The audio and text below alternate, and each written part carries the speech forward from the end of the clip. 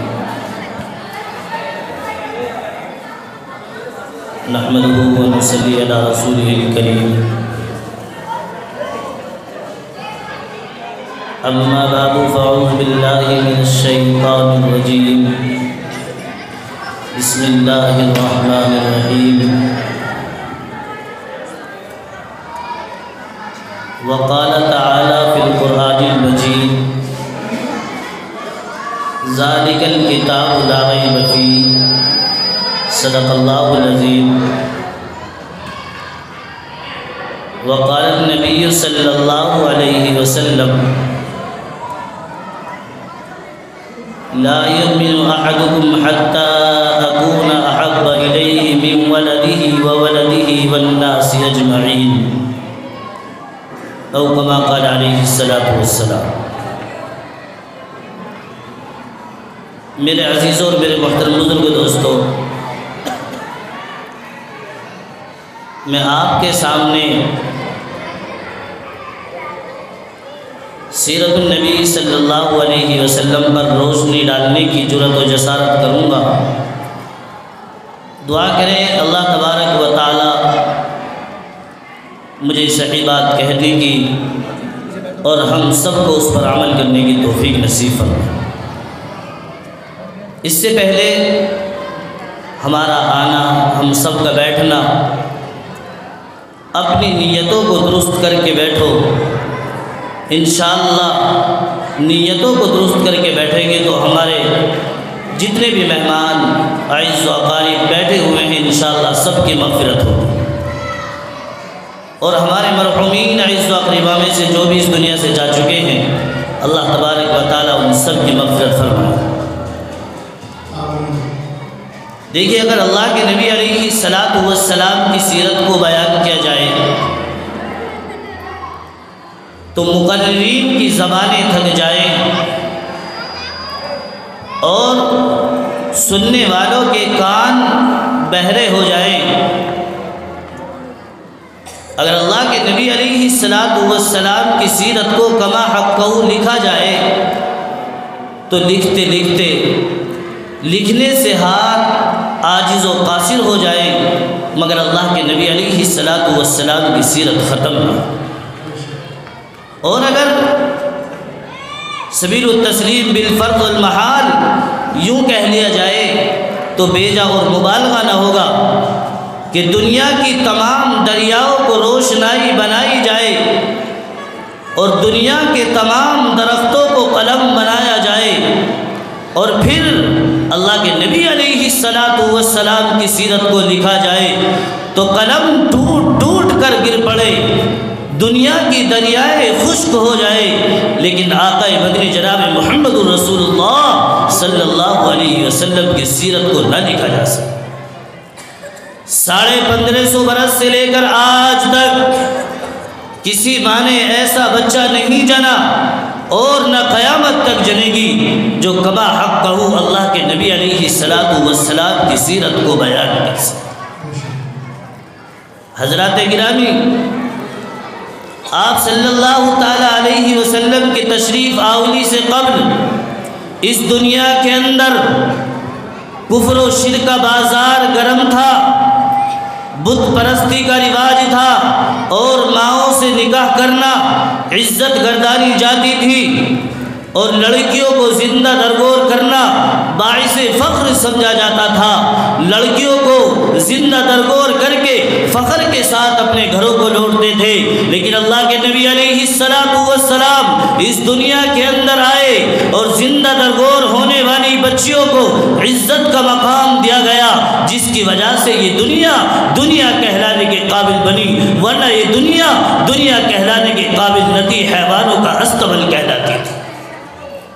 आकाई मदनी दुनिया के अंदर आए, जिस वक़्त के अंदर बरस हाय बरस की लड़ाई को एक इतिहाद इतफाक़ के साथ साल हर साल बरकरार रखा जाता था। ज़िंदा दरगोर बच्चियों को बेदर्द बाप, उन मासूम बच्चियों की ज़बान पर अबू अबू की सदाएँ बुलंद होती थी और वो बेदर्द बाप, उन मासूम बच्चियों को ज़मीन में खड़े खोद कर वापस फखर के साथ अपने घरों को लौटा करते थे। अल्लाह के नबी सलाम इस दुनिया के अंदर आए और ज़िंदा दरगोर होने वाली बच्चियों को इज़्ज़त का मकाम दिया गया। तहतुसरा से उठाकर सुरैया में पहुँचा दिया और बर हर्ज की बर्ज की लड़ाइयों को ख़त्म कर दिया गया और अहल इस्लाम इतिहाद व इतफाक़ एक प्लेटफार्म पर जमा कर गए। अल्लाह के नबी सलाम की तशरीफ़ आवरी की बरकत है कि खूखार दरिंदे सिफत इंसान को। इंसानी सिफात के साथ मुतसिफ कर दिया और अशरफुलमखलूक़ात का एजाज़ बख्श दिया। दलदल में फंसे इंसान को अमन आस्ती का पैगाम दिया गया। यह आपकी तशरीफ़ आवरी की बरकत है। कुफर शिरक के दरमियान खड़े इंसान को रुश्त हिदायत की रोशनी मिली। आकाए मदनी की बरकत है। ये दुनिया की तमाम चीज़ें कायम हैं, वरना न हम होते, न आप होते, न दुनिया का साजो सामान होता। उसी को किसी शायर ने क्या खूब कहा है? मोहम्मद न होते तो कुछ भी ना होता, ज़मीन भी ना होती, फलक भी ना होता और मोहम्मद न होते तो कुछ भी ना होता। लौला के नमा खलकतुलफला अगर आप ना होते तो इन आसमानों को पैदा ना करता। न मस्जिद, न मंदिर, न बुत खाना होता। न साकी, न कोसर, न मैं खाना होता। ज़मीन भी ना होती, फलक भी ना होता और मोहम्मद ना होते तो कुछ भी ना होता। मेरे अजीज़ों, ये दीन हमारे पास बहुत कुर्बानी के बाद आया है कि इस दीन को हम तक पहुँचाने के लिए साहबा इकराम रिजवान ने और हजूर अक्रम सल्ला अलैहि वसल्लम ने किस कदर कुर्बानियाँ पेश की हैं कि इस दीन को हम तक पहुँचाने के लिए साहबा इकराम शियब तालीम में तीन साल तक भूखे प्यासे बंद रहे। महज इस दीन को हम तक पहुँचाने के लिए अल्लाह के नबी सलाम का तंदन मुबारक शहीद हुआ। इस दीन को हम तक पहुँचाने के लिए अल्लाह के नबी सलाम को अपना महबूब वतन को छोड़ना पड़ा। इस दीन को हम तक पहुँचाने के लिए आकाए मदनी के पेट पर पाँच पाँच पाँच पत्थर बांधे गए इस दीन को हम तक पहुँचाने के लिए अल्लाह के नबी सलाम के ऊपर नापाक ओझड़ी को डाला गया। इस दीन को हम तक पहुँचाने के लिए अल्लाह के नबी सलाम को जब ताइफ में अल्लाह की वहदानियत और अपनी रिसालत का ऐलान करने के लिए निकले हैं तो बदबख्तों ने आपके ऊपर पत्थर की बारिश बरसाई। इसीलिए मेरे अज़ीज़ और मेरे मोहतरम बुज़ुर्ग, दोस्तों ताइफ का वाक़ आपकी ज़िंदगी का दर्दनाक बाब है, जिसे सुनने के लिए चीते का जिगर और पत्थर का कलेजा होना चाहिए। जब अल्लाह के नबी सलाम ताइफ में तबलीग की घर से तशरीफ़ ले जाते हैं और अल्लाह की वहदानियत और अपनी रिसालत का ऐलान करते हैं तो वो बदबक अहल ताइफ आपकी आवाज़ पर लब्बाई कहते हैं और आप पर ताना जनी करने लगे और कहने लगे, अल्लाह को तेरे सिवा कोई और रसूल नहीं मिला था जिसको अल्लाह अपना रसूल बना करके दुनिया में मबूस फरमाता और कहने लगे, यहाँ तक के बस नहीं, बल्कि आप सल्लल्लाहु अलैहि वसल्लम के पीछे आवारा लड़कों को लगाया गया ताकि वो आवारा बदबख्त आपको गालियाँ दें, आपके ऊपर पत्थर की बारिश बरसाए, आपका जिसम मुबारक लहू लुहान हो गया, आपका नानैन मुबारक, रूम खून से रंग जाते हैं। अल्लाह रब्बुल आलमीन का जलाल जोश में आता है। अल्लाह तबारक व जिबरील को बुलाते हैं, ओ जिबरील, आओ सलाम अल्लाह के दरबार में पहुँच करके कहते हैं, बताइए, अल्लाह के नबी सलाम के आपके साथ ऐसा मामला हुआ। अल्लाह तबारक ने कहा, जिबरील, जाओ, मेरे महबूब के खून के कतरे को ज़मीन पर गिरने से पहले रोक लो, वरना कहीं ऐसा ना हो, मेरे महबूब का खून का कतरा ज़मीन पर गिरना ही पूरी दुनिया की तबाही बर्बादी का सबब ना बन जाए। आज नौजवान भी एक खुशहाली की ज़िंदगी गुजार रहा है। एक बुज़ुर्ग भी अल्लाह के हुक्मों को तोड़ता हुआ नज़र आ रहा है। हमारा नौजवान तबका भी नबी की सुन्नतों का जनाजा निकालता हुआ नज़र आ रहा है। और लोगों, कभी तुमने सोचा है, वो नबी जो हमारे लिए रातों को तड़पा, वो नबी जो उम्मत के लिए रातों को रोया, वो नबी एक एक आयत कर पूरी पूरी रात गुजार देता। मुजरिमून। कल सारी दुनिया खड़ी हुई हो और सारे का सारा मजमा अल्लाह के दरबार में हो और अल्लाह के दरबार में खड़ा हुआ हो और अल्लाह तबारक व ताला यूँ ऐलान कर दे, ओ मुजरिमो, आज मेरे नेक बंदों से अलहदा हो जाओ दुनिया के अंदर मेरे हुक्मों को तोड़ने वाले तुम थे दुनिया के अंदर नबी की जनाजा निकालने वाले तुम थे। दुनिया के अंदर नबी कुरान छोड़ करके आया। दुनिया के अंदर नबी हदीस को छोड़ करके आया। दुनिया के अंदर बताने वाले मौजूद थे। तुमने क्या अमल किया? रिवायत के अंदर आता है। हफ़्ते में दो रोज उम्मत के अमाल नबी पाक सलाम के पास पेश किए जाते हैं। जब पेश किए जाते होंगे, पता चलता होगा, इस नौजवान ने चोरी की है। मेरे नबी के दिल पर क्या गुजरती होगी? इस नौजवान ने नबी की सुन्नत का जनाजा निकाला है। उस नबी के दिल पर क्या गुजरती होगी? एक नौजवान ने जिना का इरादा करते हुए चला है। उस नबी के पास जब हमारे अमाल पहुँचते होंगे, वो नबी हमारे अमालों का मुआयना फरमाते होंगे। लोगों, दुनिया के अंदर उस नबी को तकलीफ़ पहुंचाकर दुनिया और आखिरत में कामयाबी और कामरानी चाहो तो ये नामुमकिन है। चुनानचे जबरील सलाम अल्लाह के नबी सलाम के पास पहुँचे और पहुँच करके अपने परों से आपके खून को रोक लिया। पहाड़ पर दो मुकर फरिश्ते आते हैं और कहते हैं, या नबी अल्लाह, अगर आप हुक्म करें तो ये जो दो पहाड़ हैं, इन दोनों पहाड़ों को टकरा कर इन कुफारों, मुशरकिन को कुचल डाले। लेकिन मेरे नबी ने क्या फरमाया? सुनो लोगो, सुनो। नबी ने क्या फरमाया? मैं दो जहाँ के लिए रहमत बन करके आया हूँ। अगर आज तो कल आने वाली नस्ल ज़रूर समझेगी। जालिमों ने नबी के साथ इतने क्या ना किया। अनमुनीबिल अजदी रज़ी अल्लाह तआला राइतु रसूलुल्लाह सल्लल्लाहु अलैहि वसल्लम फिल जाहिलिया या अय्युहन्नास कुलू ला इलाहा इल्लल्लाह तुफलिहू फमिनहुम मन तफल फ़ी वजहिही व मिनहुम मन हसा अलैहि तुराब व मिनहुम मन सब्बु अत्तन तसफुन नहार अल्लाह के नबी अलैहि सलातु वस्सलाम लोगों को ईमान की दावत देने के लिए निकले और लोगों से फरमाया ए लोगों या अय्युहन्नास कुलू कलमा पढ़ लो, कामयाब हो जाओगे। आपके जिसम मुबारक पर, आपके चेहरे अनवर पर थूका गया, आपके चेहरे अनवर पर मट्टी डाली गई आपके चेहरे पर यहाँ तक आपको गालियाँ दी गई। आधा दिन गुजर गया। फाकबलत जारी तुम बेउसिम्बा नबी की यह हालत कर दी गई। एक छोटी सी बच्ची पानी का प्याला लेकर के आई और फरमाया, ए अब्बा जान, ये कैसी हालत हो गई है? ए अब्बा जान, आपके ऊपर मिट्टी भी डाली गई। ए अब्बा जान, आपको गालियाँ भी दी गई। ए अब्बा जान आपके साथ ये सुलूक किया गया। फरमाया, मेरी बेटी, मैं चाहता हूँ मेरा लाया हुआ दीन एक कच्चे और पक्के घर में दाखिल हो जाए।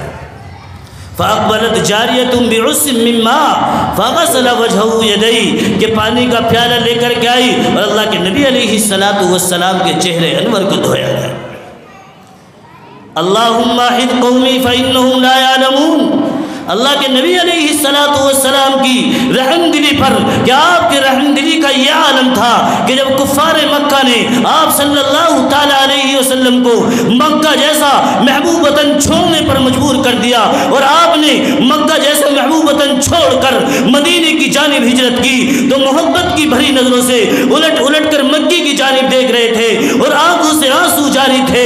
मेरे नबी ने फरमाया मेरा दिल चाहता है, बैतुल्ला खोला जाए और मुझे दो रकात नफिल नमाज़ पढ़ने की इजाज़त दी जाए।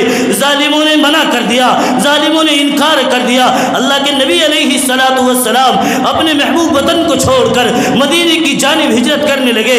आँखों से आँसू जारी थे, आँखों से आँसू टपक रहे थे। या आसमान भी देख रहा था, ज़मीन भी ताजुब कर रही थी। एक उस्मान नामी शख्स के पास में बैतुल्ला की चाबी थी, उसे बुलाया गया और उस्मान, आजा, मैं चाहता हूँ, मुझे दो रकात नफिल नमाज़ पढ़ने की इजाज़त दे दे। जालिम ने मना कर दिया, इनकार कर दिया, फरमाया कि सुन ले, एक दिन आएगा, मैं बैतुल्ला में आऊँगा, बैतुल्ला की चाबी मेरे पास होगी और बैतुल्ला का मालिक मैं हूँगा उसने कहा कि ये बात नहीं हो सकती। वक़्त आया, मदीने के अंदर ज़िंदगी गुजार करके आए। वक्त आया, बैतुल्ला की चाबी लेने के लिए। हज़रत अल्लाह के नबी सलाम ने फरमाया, उस्मान नामी शख्स को बुलाया जाए। उस्मान नामी शख्स को बुलाया गया। लाओ चाबी कहाँ है? मक्का फतह हो चुका है। अब तुम्हारी दारोगिरी नहीं चलेगी। दुनिया वालों, सुन लो। सुपर पावर ताकत का मालिक मेरा रब है। दुनिया की ताकत कोई ताकत नहीं है। अपने जहनों के अंदर इस बात को फिट कर लो। अपने जहनों के डाल लो जिस तरह से मेरा नबी बैतुल्ला के अंदर कह करके गया बैतुल्ला की चाबी मेरे पास आएगी। बैतुल्ला के अंदर नमाज़ मैं पढ़ूँगा, चाबी तेरे से ले ली जाएगी। जब मक्का फतह हुआ, उस्मान नामी शख्स को बुलाया गया और बैतुल्ला की चाबी ली गई। फरमाया कि बैतुल्ला की चाबी दो। चाबी लेकर के उससे फरमाया कि आप बैतुल्ला के मालिक हम हैं। उसने फरमाया कि आपने बैतुल्ला की ताला ही नहीं खोला, बल्कि आपने मेरा ही दिल का ताला खोल दिया। अल्लाह के नबी सलाम क्या आपकी ज़िंदगी को देखा जाए? आज ये नौजवान उस नबी की सुन्नतों का जनाजा निकालते हैं। जो नबी हमारे लिए रातों को तड़प कर ही चला गया, जो नबी हमारे लिए रातों को रो करके चला गया, आज इस उम्मत की शर्म गैरत कहाँ चली गई? आज उस नबी के मानने वाले कहाँ चले गए? ये उस नबी का उम्मती है जिसको आसमान से फरिश्ते सलाम करने के लिए ज़मीन पर नाजिल हुआ करते थे। ये उस नबी का उम्मती जब सफ़र पे चलता है, कान में लीड लगा करके गाने सुनता हुआ जाता है। रात है।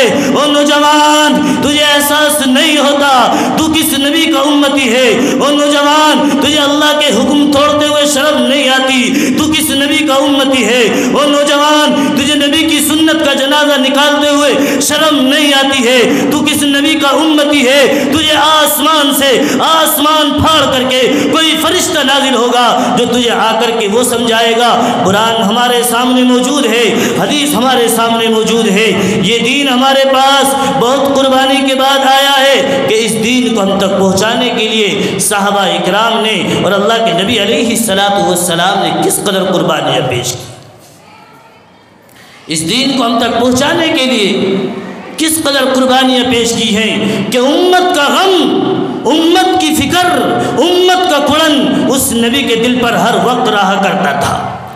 एक मरतबा अल्लाह के नबी सलाम मस्जिद नबवी के अंदर तशरीफ़ फरमाए, जबरील अमीन सलाम अल्लाह के नबी की खिदमत में हाजिर हुए, अल्लाह के नबी सलाम ने फरमाया जबरील अमीन, मैं आपके ऊपर गम के असरात देख रहा हूँ, मैं आपको टेंशन में देख रहा हूँ, वजह क्या है, हालात क्या है जबरील अमीन सलाम ने अल्लाह के नबी सलाम से फरमाया, या नबी अल्लाह, मैं आज जहन्नम का नज़ारा करके आया हूँ। मेरे रब ने मुझे बुलाया था, जहन्नम का नज़ारा करके आया हूँ। अल्लाह के नबी सलाम ने फरमाया, जबरील, बताओ, जहन्नम में क्या नज़ारा करके आए हो? फरमाया कि जहन्नम के साथ तबक़ात हैं। फरमाया कि इन्नल मुनाफिकीन फिद्दर किल असफल मिनन्नार कि जहन्नम के सबसे निचलने वाले तबके में मुनाफिकों को डाला जाएगा। कि जहन्नम के अंदर निचले तबके के अंदर मुनाफिकों को डाला जाएगा। उसके बाद में फरमाया कि किसको डाला जाएगा? उसके बाद में आग की परस्तिश करने वालों को डाला जाएगा। चाँद और सूरज की परस्तिश करने वालों को डाला जाएगा। यहूद और नसारा को डाला जाएगा। तो जबरील अमीन सलाम खामोश हो गए। अल्लाह के नबी सलात सलाम ने फरमाया, जबरील, बताओ, फिर क्या?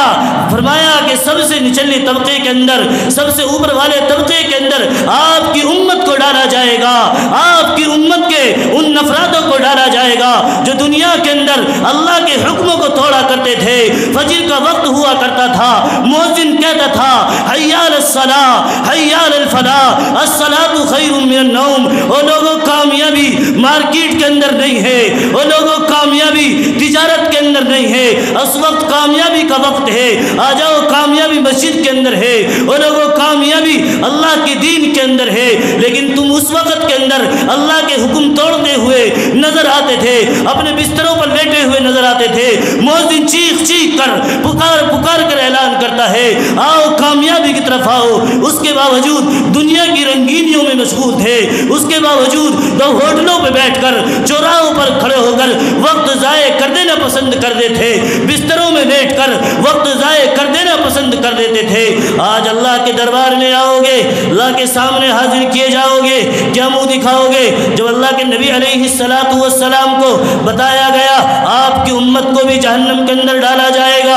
उस नबी के ऊपर इतने गम तारी हुए, इतनी टेंशन तारी हुई। अल्लाह के नबी सलाम मस्जिद नबवी के अंदर तशरीफ़ लाते और नमाज़ पढ़ करके तशरीफ़ ले जाते। सहाबा को हैरत हुई, नबी आते हैं, तशरीफ़ ले जाते हैं, किसी से बात नहीं करते हैं। वजह क्या है? मामला क्या है? अबू बकर से रहा न गया। आज हम तुम्हारा जैसा मामला होता, अगर मस्जिद का इमाम नाराज़ हो जाए तो मुतवली भी कह देता है, नाराज़ हो गया तो होने दो। अगर मस्जिद का एक बाइज्जत आदमी, इमाम साहब उससे नाराज़ हो गए, कहते, हो गए होने दो। लोगों, सुनो, ये ओलमा अम्बिया के वारिस हैं। ये ओलमा इन ओलमा को चुना गया। इन ओलमा को बस्तियों के अंदर से चुना गया। ये ओलमा अम्बिया के वारिस हैं। और अगर बाप के इंतकाल के बाद बेटा लंगड़ा हो, लूला हो, पागल हो, लेकिन बेटा ही वारिस हुआ करता है, ऐसी नबी के बाद में वारिस ये है। फरमाया गया, हज़रत अबू बकर से रहा ना गया। अल्लाह के नबी सलाम मस्जिद के अंदर आते और तशरीफ़ ले जाते। आपके ऊपर गम और असरात तारी साहबा इकराम को टेंशन हुई। साहबा इकराम को वजह मालूम करनी थी। हज़रत बकर सिद्दीक रज़ी अल्लाह तु के बारे में आता है। जब हज़रत बकर सिद्दीक रज़ी अल्लाह तु से रहा न गया, पूछने के लिए तशरीफ़ ले गए। यह हज़रत बकर सिद्दीक रज़ी अल्लाह तन अल्लाह के नबी सलाम के हजर मुबारक के अंदर, हजर हजर मुबारक के पास तशरीफ़ ले जाते हैं। और ये आसमान भी देख रहा था, ये ज़मीन भी देख रही थी। सारे साहबा हालात में हैं, वजह क्या है? नबी के ऊपर पर हालात हैं। यह बकर सिद्दीक रज़ी अल्लाह दरवाजे पर पहुँच करके फरमाया, अस्सलाम वालेकुम दरवाज़ा ना खुला कुंडी बजाई, दरवाज़ा ना खुला। अबू बकर की आँखों से आँसू गिर रहे हैं। मेरे नबी को तकलीफ़ किसने दी है? नबी को किसने सताया है? नबी को ईजा किसने पहुंचाई है? अबू बकर सिद्दीक रज़ी अल्लाह वापस दरवाजे से चले आए। या आसमान भी देख रहा है, ज़मीन भी ताजुब कर रही है। हज़रत बकर सिद्दीक रज़ी अल्लाह के बाद बाद हज़रत उमर रज़ी अल्लाह तु से रास्ते में मुलाकात हुई। फरमाया, मैं नबी के दरवाजे पर गया, मैंने नबी को सलाम किया, दरवाज़ा न खुला, वजह क्या है? ए उमर, तू चला जा। हो सकता है नबी दरवाज़ा खोल दे। हज़रत उमर फारूक रज़ी अल्लाह दरवाजे पर पहुँचते हैं। कहते हैं सलामकुम दरवाज़ा बजाया। दरवाजे की कुंडी न खुली। हज़रत उमर फारूक रज़ी अल्लाह जानते हो कौन है? जिनके बारे में बताया गया लौकान आबादी नबी उमर। अगर मेरे बाद कोई नबी होता तो हज़रत उमर रज़ी अल्लाह होते। लोगों, हमारी तुम्हारी वजह से मेरा नबी कितने तड़पा है और कितनी तकलीफ़ें बर्दाश्त की है।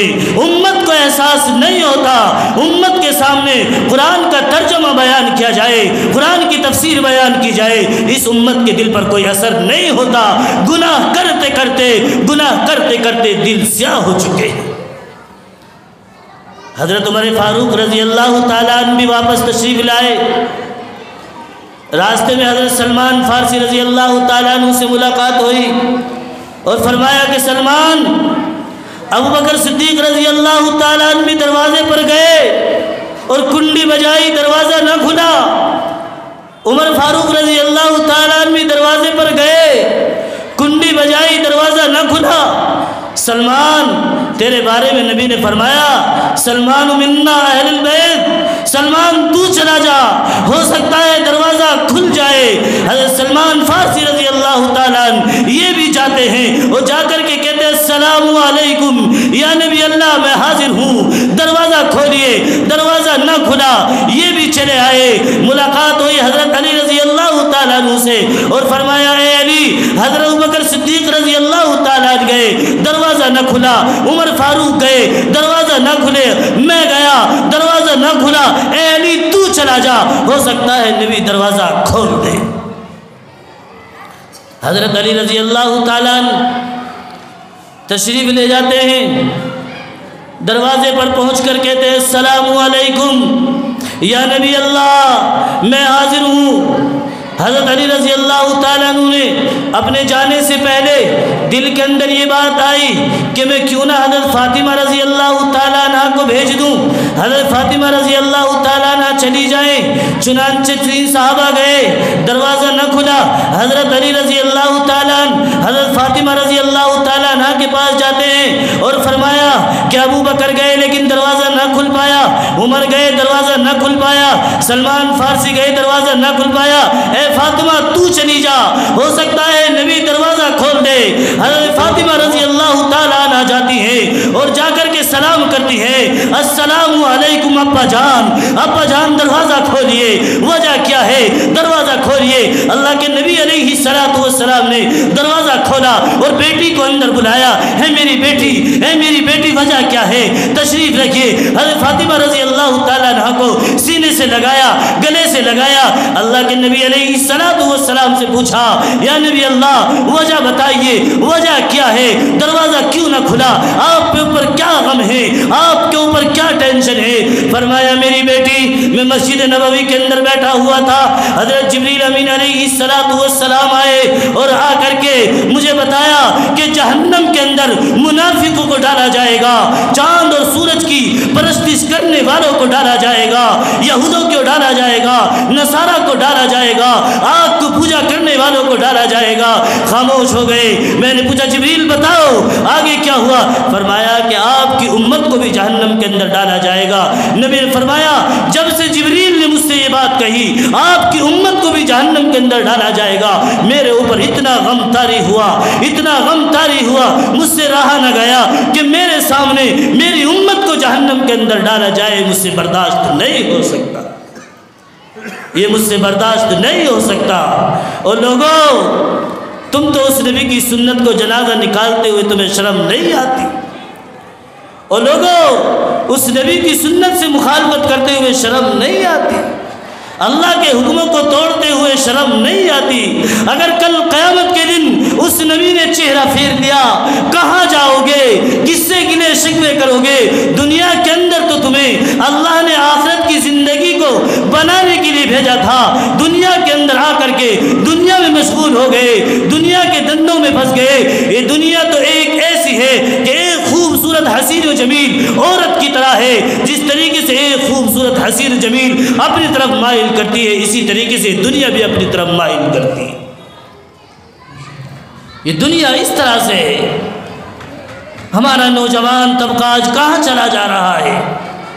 और नौजवान कभी अपने बिस्तर पर लेटकर यूँ भी सोच लिया कर कि मेरी खबर मुझको रोज़ाना सत्तर मरतबा याद करती है। और यूँ कहती है, अना वाहिदा, अना बैतुलजुल्मा अना बैतुलहदूद वलहवान अना बैतुलहयद वलकारिब क्या हर एक इंसान की खबर, हर एक इंसान को सत्तर मरतबा याद करती है। और ये कहती है, मेरे अंदर तैयारी करके आना। मैं तन्हाई का घर हूँ, मैं कीड़े मकोड़ों का घर हूँ, मैं सांप बिच्छुओं का घर हूँ। मेरे अंदर आना तो तैयारी करके आना।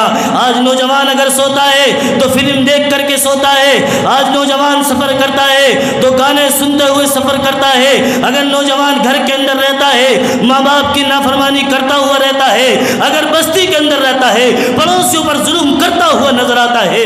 और जालिम, तुझे इजाज़त किसने दी है? माँ बाप को तकलीफ़ पहुँचाने की। और जालिम तुझे इजाज़त किसने दी है? माँ बाप को सताने की और जालिम तुझे इजाज़त किसने दी है? पड़ोसियों को तकलीफ़ पहुँचाने की वो जालिम तुझे इजाज़त किसने दी है? नबी की सुन्नत की मुखालफत करते हुए तुझे शर्म नहीं आती? मेरे अजीज़ों, अपनी ज़िंदगियों के बारे में सोचें। अपनी ज़िंदगियों के बारे में गौर फ़िक्र करें कि ये दीन हमारे पास कितनी कुर्बानी के बाद आया है। जब याद रखो ग़ुलामी रसूल का दावा करना और उम्मत मोहम्मदिया का दावा करना, ये उसी वक्त सही होगा जब हम अपनी जान और माल की कुर्बानी देकर इस दीन को दूसरों तक पहुँचाएँ। खुदा के सामने कल पेशी होगी, अल्लाह के सामने हाजिर किए जाओगे। अगर अल्लाह तबारक वाल ने पूछ लिया कि जिस दीन को तुम तक पहुँचाने की खातिर मेरे नबी का दंदान मुबारक शहीद किया गया, तुमने उस दीन का क्या किया? जिस दीन को तुम तक पहुँचाने की खातिर मेरे नबी को अपने महबूब वतन छोड़ना पड़ा, तुमने उस दीन का क्या किया? जिस दीन को तुम तक पहुँचाने की खातिर मेरे नबी ने गजब खंदक के मौके पर आपके पेट पर पाँच पाँच पत्थर बांधे गए, एक भूख की वजह से तुमने उस दीन का क्या किया? जिस दीन को तुम तक पहुँचाने की खातिर ताइफ की गलियों में पत्थर मारे गए। तुमने उस दीन का क्या किया? हम क्या जवाब दे सकेंगे? हम क्या जवाब दे सकेंगे? हम उसी वक्त जवाब दे सकेंगे जब खुदा के बताए हुए तरीक़ों पर और नबी की सुन्नतों के मुताबिक हम अपनी ज़िंदगी को गुजारेंगे। कि साहबा इकराम किस तरह से मोहब्बत क्या करते थे अल्लाह के नबी सलाम से? एक साहबी रज़ी अल्लाह तु के बारे में आता है कि एक साहबी अल्लाह के नबी सलाम की खिदमत में पहुँचे, मुलाकात के लिए तशरीफ़ ले गए, आपकी ज्यारत के लिए तशरीफ़ ले गए। जब वो साहबी रसूल अल्लाह के नबी सलाम की खिदमत में हाजिर हुए और आपने तो आपने आपको इस हाल में पाया कि आपके कुर्ते का बटन खुला हुआ था। मुलाकात के बाद, ज्यारत के बाद वापस तशरीफ़ लाए। किसी ने पूछा, आप कुर्ते का बटन क्यों नहीं लगाते? फरमा फरमाया जब मैं नबी की खिदमत में हाजिर हुआ, जब मैं नबी के पास गया, मैंने आपके कुर्ते का बटन खुला हुआ पाया, इसलिए मैं कुर्ते का बटन नहीं लगा था। ये इश्क था साहबा का हुजूर से, ये इश्क था साहबा का हुजूर से, और क्यों ना होता? जबकि मेरे नबी ने फरमाया लव मेरे नबी ने फरमाया, ला हत्ता अकूना हब्बा इलैहि मिन वालिदिही व वलदिही वन नास अजमईन कि तुम में से कामिल मोमिन कोई शख्स उस वक्त तक नहीं हो सकता जब तक कि मैं तुम्हारे नज़दीक तुम्हारे माँ बाप तुम्हारे अहल आयाल तुम्हारे आइस करीब तुम्हारे यार रिश्तेदार से ज़्यादा करीब ना हो जाओ हमारे घर के अंदर अगर मेहमान आ जाए और उधर मुहसिन कह दे हयालसला हयालफला तो मेहमान के इस्तबाल में लगेगा। अगर हमारे घर के अंदर मेहमान आ जाए और उधर मुहसिन निदा दे दे, आजा कामयाबी मस्जिद के अंदर है तो मेहमान को लेकर के मस्जिद के अंदर नहीं जाएगा। अगर मार्केट के अंदर इसको काम है, उधर मुहसिन कह रहा है हयालसला हयालफला पहले मार्केट के काम को निपटाएगा। उधर से आवाज़ आए हयालसला हयालफला अगर इसको पानी करना है, अगर इसको खेती खेती बाड़ी करनी है तो खेती बाड़ी के अंदर जाएगा और अपना पानी बनाएगा, अपना न्यार करेगा। इसके दिल पर एक मरतबा भी ये नहीं गुजरता, मैं अल्लाह के सामने हाजिर होऊँगा। दुनिया तो बकदर ज़रूरत है, मेरा टारगेट, मेरा मकसद आखिरत है। इसलिए अब मोहसिन ने निदा दी है, मोहसिन ने आवाज़ दी है, अब मैं मेहमान को लेकर भी मस्जिद के अंदर जाना होगा और अपने मार्केट के काम को भी बाद में करना होगा। पहले अपने रब को रब मनाऊँगा, रब को राज़ी करूँगा दुनिया मेरे रब नहीं है, मार्केट मेरे लिए रब नहीं है, मेरा रब वो है जो पूरी कायनात का पालनहार है, जो पूरी कायनात का पालने वाला है, जो पूरी कायनात का मालिक है, मेरा रब तो वो रब है।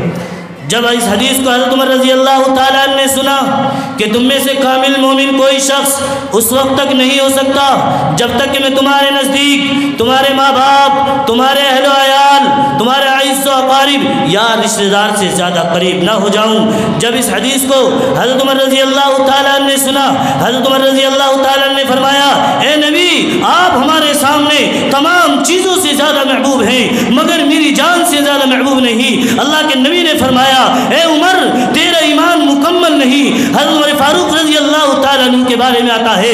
कुछ देर के लिए सर नीचे के हुए सोचने लगते हैं। कुछ देर के बाद सर उठाया और सर उठा करके नबी को मुखातब होकर के फरमाया, या नबी अल्लाह, आप हमारे सामने तमाम चीज़ों से ज़्यादा महबूब हैं हती कि मेरी जान से ज़्यादा महबूब है। अल्लाह के नबी सलाम ने फरमाया, ए उमर, तेरा ईमान मुकम्मल हो चुका है, अब तेरा ईमान नाकिस नहीं रहा। बताओ दुनिया के अंदर ऐसा होता है या नहीं होता है मेरे अज़ीज़ अगर नबी को सच्चा मानते हो, अगर नबी से मोहब्बत करते हो, और नबी के उम्मती कहलाने वाले हो, फिर क्यों मस्जिद हमारी वीरान नज़र आती है? फिर क्यों मस्जिद वीरान नज़र आती है? फिर क्यों नबी की सुन्नत जनाजा निकालते हुए क्यों नज़र आते हैं? लोग तो डर की वजह से कि कोई नबी का उम्मती न कह दे, चेहरे पर दाढ़ी रखना भी पसंद नहीं करते। बहुत से लोग तो दाढ़ी टोपी इस वजह से नहीं रखते कि कहीं इसको मुसलमान घोषित न कर दिया जाए, कहीं इसको मुसलमान न कह दिया जाए। इस वजह से सर पर टोपी ओढ़ना भी पसंद नहीं करते। चेहरे पर टोपी रखना इस वजह से, चेहरे पर सर पर टोपी रखना इस वजह से पसंद नहीं करते, ताकि गैरों के इलाके में जाए और उसको कोई मुसलमान कह दे, इस डर की वजह से टोपी भी नहीं रखते। और नबी ने तो फरमाया मन तशब्बामिन हूँ जो कौम जिस कौम का मुशावत इख्तियार करेगी, बल क़यामत के दिन उसका शुमार उसी के साथ में किया जाए। नबी से मोहब्बत करते हो या नहीं करते? नबी से मोहब्बत करोगे? नबी से मोहब्बत करने की बिना पर मेरे बात एक जहन में आई कि जानते हो अबू तालिब कौन है? जानते हो अबू तालिब कौन है? आपके चचा है कुफर की हालत में मौत आई है, लेकिन आपसे बे इंतहा मोहब्बत करते थे। आपसे मोहब्बत की बिना पर शियब अबी तालिब में तीन साल तक भूखे प्यासे बंद रहे। इस भूखे प्यासे बंद रहने की वजह से ये सिर्फ़ आपकी मोहब्बत थी और आपकी मोहब्बत की बिना पर अजाब में तकलीफ़ कर दी गई। अजाब में तकलीफ़ कर दी जाएगी। किस वजह से? सिर्फ़ आपसे मोहब्बत की बिना पर कल क़्यामत के दिन दो लख की जूतियाँ पहनाई जाएँगी, जिसकी वजह से दिमाग हांडी की तरह उबल रहा हो। किस वजह से? सिर्फ़ आपकी मोहब्बत की बिना पर। वो तो काफिर थे। हम तो उस नबी के मानने वाले हैं। हम तो उस नबी के मानने वाले हैं। हम तो उस नबी के उम्मती हैं। तो बताओ, हमारी तो बदरज ओला मगफिरत होगी या नहीं होगी मेरे अज़ीज़? होगी नहीं होगी? होगी, इंशाल्लाह होगी। और इसी के बरस अबू जहल को देखो कि अबू जहल आपकी जान का दुश्मन है। हमेशा आपकी बगावत पर उतरा हुआ है। सुनो, हज़रत अब्दुल्ला मसूद रज़ी अल्लाह एक मरतबा कब्रिस्तान से गुजर रहे हैं और कब्रिस्तान से गुजरे, कुछ कब्रें गुजर गई, कुछ कब्रों को पार कर दिया, पीछे मुड़ करके देखा, एक कब्र फट पड़ी और उसके कब्र में से एक बदसूरत काला इंसान है और उसके पीछे एक शख्स दुर्रा लिए हुए खड़ा है। वो बदसूरत, काला इंसान, पानी मांग रहा है। ओ अब्दुल्ला, मुझे पानी दे दे। हज़रत अब्दुल्ला इब्न मसूद रज़ी अल्लाह तआला ने पीछे मुड़ करके देखा कि एक बदसूरत, काला इंसान है और उसके पीछे एक शख्स दुर्रा लिए हुए खड़ा है और वो कह रहा है, ए अब्दुल्ला, पानी दे दे। उनने दे उन्होंने कहा कि नहीं, मेरा नाम लेकर के पुकारा है, क्योंकि अहले अरब अहले अरब अब्दुल्ला हर एक आदमी को बोला जाता है। उसने कहा कि पानी मांगा है, मैं पानी दूँगा। फरमाया कि नहीं, हज़रत अब्दुल्ला बिन मसूद रज़ी अल्लाह अल्लाह के नबी की खिदमत में हाजिर हुए और फरमाया, मैं कब्रिस्तान से गुजर रहा था, एक कबर फट पड़ी, उसके अंदर से बदसूरत काला इंसान और उसके पीछे एक शख्स लिए हुए खड़ा है और वो पानी मांग रहा था, या नबी अल्लाह, ये वाक़ पेश आया। अल्लाह के नबी सलाम ने फरमाया, अब्दुल्ला बिन मसूद जानते हो ये कौन था? फरमाया कि अबू जहल है और इसके साथ यही सलूक होता रहे। तो उधर वो भी काफिर, अबू तालिब, जो आपके चचा हैं, लेकिन आपसे मोहब्बत की बिना पर आज़ाब में तखफीफ कर दी गई। और इधर आपकी जान का दुश्मन आपसे बगावत करने वाला इसके साथ में यहीं से ये सलूक हो रहा है। तो मेरे अजीज़ों, हम में से हर एक को मर कर के अल्लाह के पास जाना है, हर एक को कब्र के गढ़े के अंदर जाना है। कि हज़रत उमर बिन अब्दुल अज़ीज़ एक मरतबा एक जनाजे के साथ शरीक हुए कब्रिस्तान पहुँचे, एक कबर ने आवाज़ दी और फरमाया कि उमर बिन अब्दुल अज़ीज़ तुम मुझसे ये नहीं पूछता कि आने वाले के साथ में क्या सलूक करती हूँ। फरमाया कि बताइए आने वाले के साथ क्या सलूक करती है। फरमाया, जो दुनिया के अंदर अल्लाह के हुक्मों को तोड़ने वाला होता है, दुनिया के अंदर नबी की सुन्नतों का जनाजा निकालने वाला होता है। जब मेरे अंदर ऐसे आदमी को दफन कर दिया जाता है, मैं कफन फाड़ देती हूँ, खून चूस लेती हूँ, गोश्त खा जाती हूँ, मैं उस इंसान के साथ ये सलूक करती हूँ। हम में से हर एक को कब्र के गढ़े के अंदर जाना है। नौजवानों, बुज़ुर्गों, कभी बिस्तर पर लेट कर कभी बिस्तर पर लेट कर यूँ भी सोच लिया करो, आज मेरे अकेले की कमाई की वजह से, आज मेरे अकेले की कमाने की वजह से मेरा सारा घर चल रहा है और सारे घर वाले मेरी ज़ात से फ़ायदा उठा रहे हैं। कल मैं कब्र के गढ़े के अंदर डाल दिया जाऊँगा। कल मैं कब्र के गढ़े अंदर डाल दिया जाऊँगा। मेरे घर वाले मेरी जान से फ़ायदा उठा रहे हैं, लेकिन मैं कब्र के गढ़े के अंदर पड़ा हुआ होऊँगा। मैं किसकी ज़ात से फ़ायदा उठाऊँ? मैं किसकी ज़ात से फ़ायदा उठाऊँ? इसलिए मेरे अजीज़ों, अल्लाह ने वक्त दिया है। अल्लाह ने ज़िंदगी दी है। अल्लाह ने जीने का सलीका सिखाया है।